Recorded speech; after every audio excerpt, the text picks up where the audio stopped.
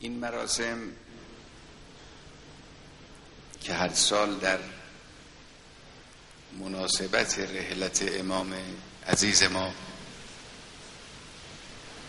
برپا می شود فواید متعددی دارد. لکن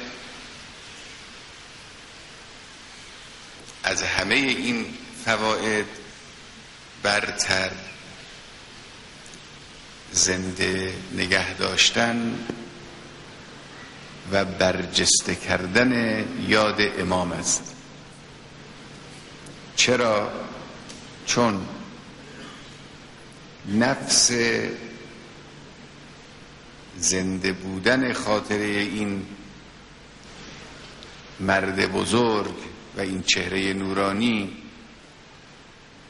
برای مسلمانان دارای برکات عظیمی است.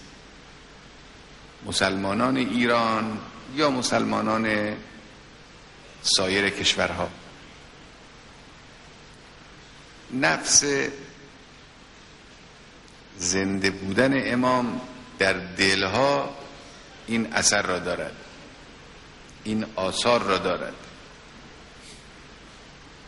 همه سیاست های دشمنان اسلام در طول مبارزه با اسلام که این یکی دو قرن اخیر اوج این مبارزه بوده است. در این دو چیز متمرکز می شود. یکی دور کردن مسلمین از احکام اسلام دوم تحقیر مسلمین و شکستن و خرد کردن روحیه مسلمان ها امام بزرگوار ما آمد درست روی همین دو نقطه انگوش گذاشت. علتی این که شما می‌بینید اسم امام دنیا را دنیای اسلامی را مثل طوفانی در نوردید اینهاست.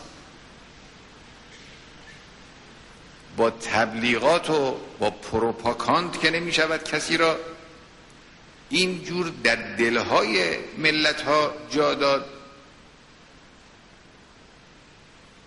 اینی که در اقصا نقاط عالم بعضی جاها اسم ایران را اصلا نشنیده بودن.